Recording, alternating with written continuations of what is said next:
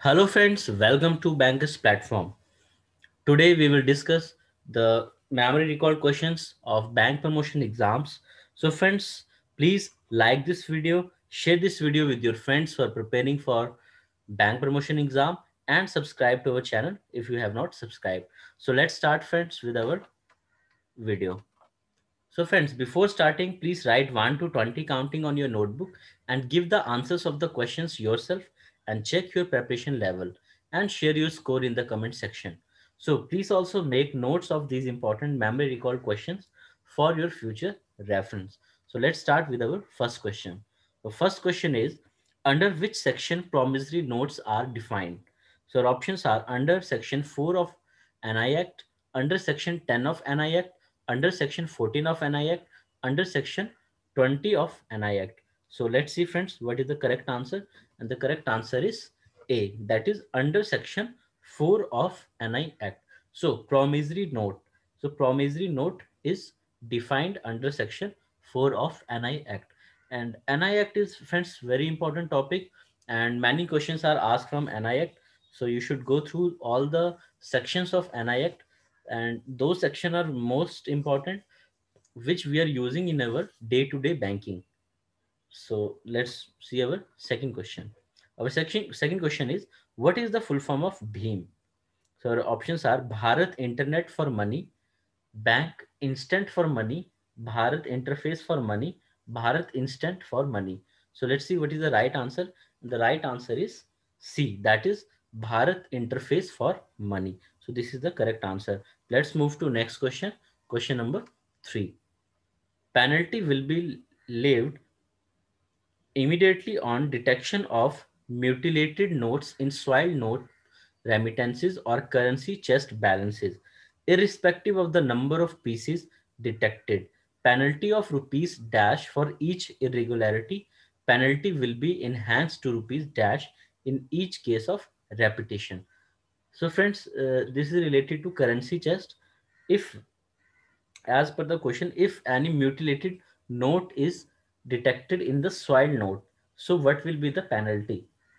And our options are, and the penalty will be first will be for each irregularity and next is penalty will be enhanced to dash in case of repetition. If that same mistake is repeated, then how much penalty will be there? Let's see the options. Our options are 1000 and 2000, 2000 and 5000, 5000 and 8000, 5000 and 10,000 and let's see what is the right answer. And right answer is 5000 and 10000 if any panel uh, if any mutilated note is found in the soil notes in remittance then 5000 rupees penalty will be there for each irregularity. And 10000 will be the penalty if the same irregularity is repeated. So friends nowadays many questions are asked from the currency chest related penalty and some other questions how much notes we can get uh, exchanged and all that. So you should go through your study material and study about these currency chest related questions. And let's see next question question number four. It is mandatory for the bank to reimburse the customer the amount wrongfully debited on account of failed atm within atm transaction within a maximum period of dash working days from the receipt of the complaint. So our options are two working days five working days seven working days, 10 working days. Let's see what is the correct answer. And the right answer is seven working days. Agar friends bhi, if any person's amount is wrongfully debited in the ATM failed transaction, so bank has to reimburse that amount within seven working days. Let's see next question. Question number five. What is the minimum and maximum number of members in LLP? LLP is limited liability partnership. Our options are 2 and 20, 20 and 100, 2 and 100, 2 and no upper limit. So let's see what the right answer. And the right answer is D, that is 2. Minimum number of members in LLP is 2 and maximum there is no upper limit. Let's see next question, question number 6. For any failure to recredit the customer's account within 7 working days from the date of receipt of the complaint, the bank shall pay compensation of rupees dash per day to the aggrieved customer. So as in the previous question we have seen that within seven working days we have to recredit the amount in the customer's account. So if that is not done by the bank so what is the compensation? So our options are 50 rupees 100 rupees 200 rupees 500 rupees. Let's see what is the right answer. And the right answer is 100 rupees per day. So friends if uh, if the bank will not credit the failed transaction amount within 7 working days then bank has to pay 100 rupees per day penalty or you can say compensation to the customer. Let's see next question question number 7 a and b has an account with operating instruction former or survivor without nomination. If both dies then to whom the fund will will handle as closer proceed means uh, will have given to the as a closer proceed so friends a और b एक account है जिसमें operating instruction है farmer और survivor and in that case no nomination is there और अगर दोनों की डेथ हो जाती है देन किसे हम जो है प्रोसीड किसे हम क्लोजर प्रोसीड देंगे our options are legal heirs of a legal heirs of b legal heirs of a and b legal heirs of either a or b let's see what is the right answer and the right answer is C that is legal heir of A and B तो जो legal आयर होंगे ए और B के, उन्हें ये closure proceeds दिए जाएँगे। Let's move to next question so friends before moving to next question let's see some things related to this cases there are various cases because friends many times these questions are asked in the promotion exam and this uh, question can give you one to two marks easily. So what will happen to bank fixed deposit when the depositor dies before maturity with nomination? So same case will be also with the saving account also. Okay so let's see the cases. Our first case is deposit in mr a's name. Okay a ke naam pe deposit hai if mr a dies before maturity x will receive the amount so here z is this is x here it will come x nominee okay so x will receive if mr a deposit in mr a's name अगर ए के नाम पे deposit है और उसकी death हो जाती है before maturity so who will get the money nominee will get the money our second case is deposit in mr a and b name as either or survivor तो यहाँ पे जो है ए और बी के नाम पे है as A either or survivor so अब इस केस में क्या फ़र्स्ट केस है if mister A dies before maturity if A dies अगर ए की डेथ हो जाती है then what will happen mister B will continue the deposit तो मिस्टर बी जो है, वो कंटिन्यू कर सकता है डिपॉजिट को okay and if mr b dies before maturity, okay? Same case, deposit in the name of mr a and b as either survivor. A और b के नाम पे और बी की डेथ हो जाती है. In that case A will continue the deposit. A जो है, वो डिपॉजिट को कंटिन्यू कर सकता है.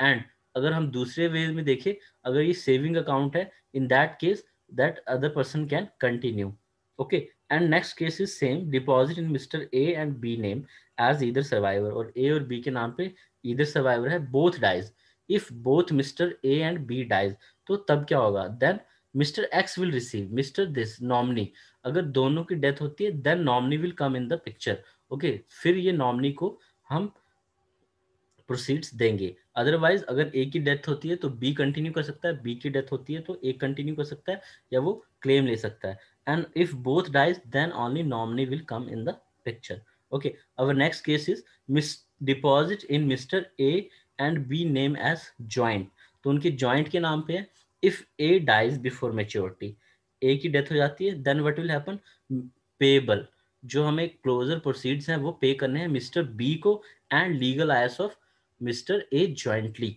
तो जो ए के जो लीगल आयर मिस्टर बी जो है ज्वाइंट होल्डर उसे भी पेमेंट होगी और लीगल आयर ऑफ़ ए तो इस केस में ये होगा and next case is deposit in mister A and B name if B dies अगर बी की डेथ होती है then to Mr. A and legal heir of Mr. B jointly.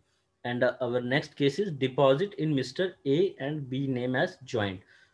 If both Mr. A and B dies, अगर दोनों की death होती है then only X will receive the amount, means nominee.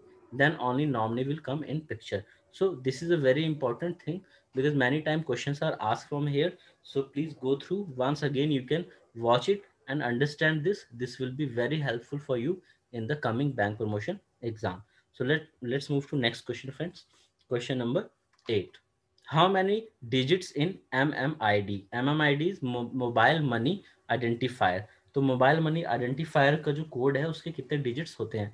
Our option are four digits six digits seven digits ten digits let's see what is the right answer and the correct answer is C that is seven digits तो सात digits जो हैं, वो M M I D के होते हैं. Let's move to next question question number nine the right to information under the act means accessibility to the information held under the control of any public authority and includes the right to which does not match तो यहाँ पे friends हमें कुछ rights दिए हैं under RTI जो हम कर सकते हैं सो so, यहाँ पे आपको बताना है कि इनमें से जो है कौन सा जो है मैच नहीं करता है option are inspection of work document records taking notes, extracts, or certified copies of documents or records, taking certified samples of the material, obtaining information in the form of diskettes, floppies,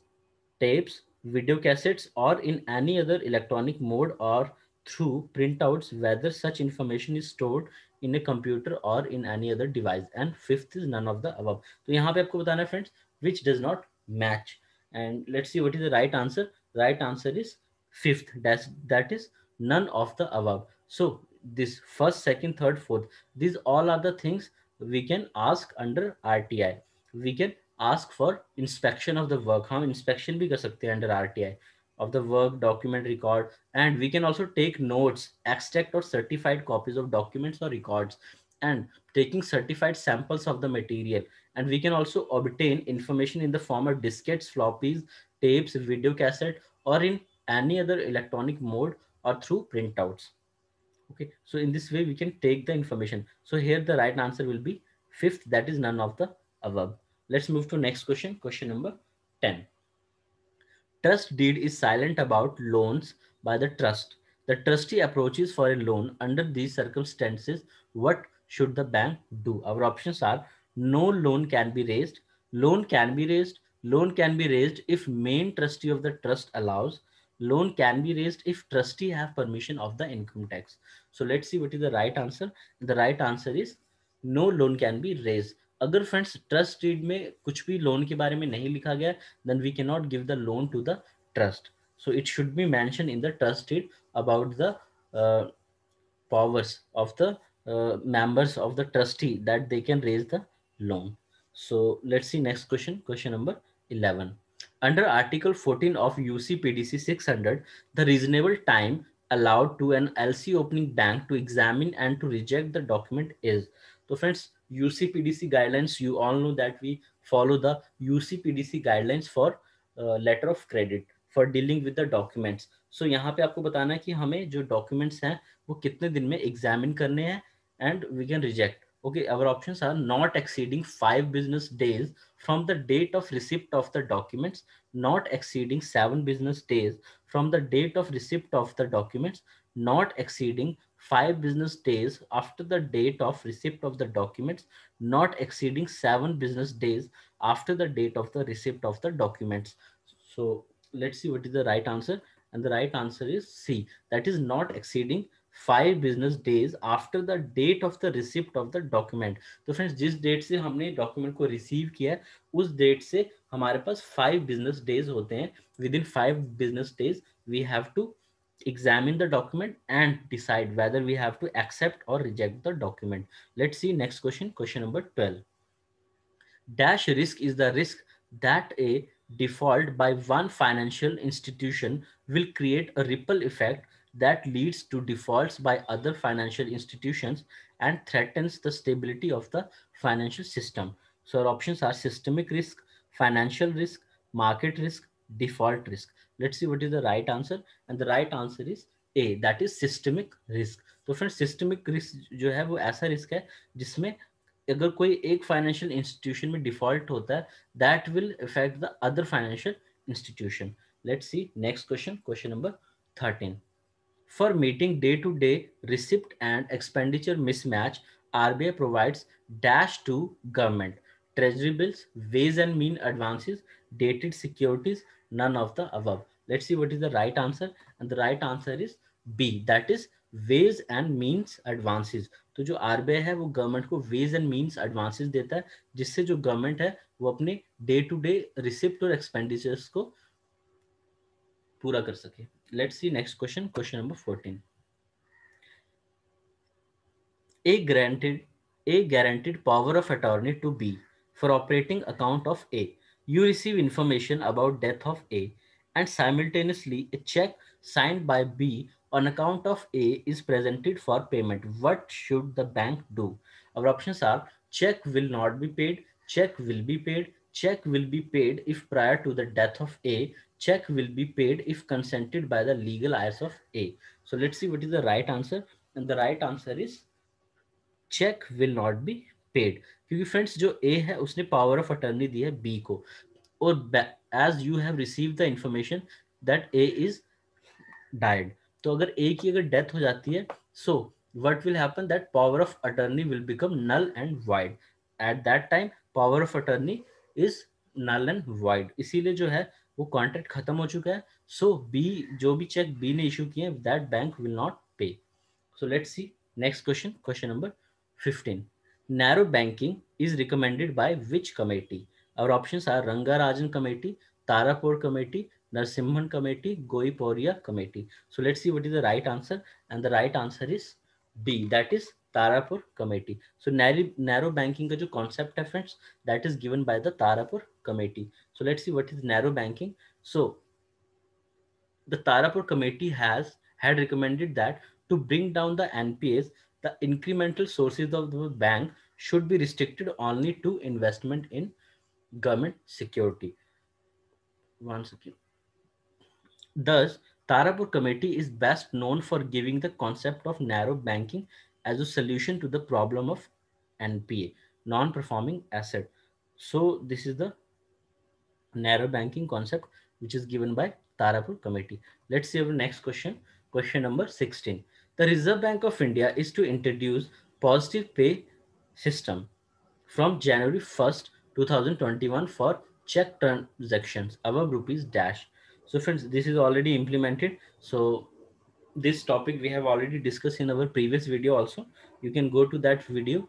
Uh, we will provide the link in the i button so you can watch that video so here you have to tell कि कितने amount से ऊपर की जो transaction है जिसमें positive pay system introduce किया गया और option are ten thousand twenty thousand fifty thousand one lakh let's see what is the right answer and the right answer is third C that is rupees fifty thousand तो fifty thousand से ऊपर के जो check होंगे उनमें हम positive pay system के through information advance में ले सकते हैं। Okay let see next question question number seventeen insurance regulator I formed a working group to revisit norms on trade credit insurance where is the headquarter of I situated तो I जो है friends आपको पता होगा this is a regulator of insurance industry so where is the headquarter of I R D A I or option are Pune, Mumbai, Chennai, Hyderabad. Let's see what is the right answer. And the correct answer is D, that is Hyderabad. So the headquarter of IRDI is in Hyderabad. Let's see next question, question number 18. What is the most widely used tools of monetary policy? Our options are issuing of notes, open market operations, discount rate, none of these. So friends यहाँ पे आपको बताना है कि monetary policy का सबसे ज़्यादा use होने वाला कौन सा टूल है जो आरबीआई यूज़ करती है?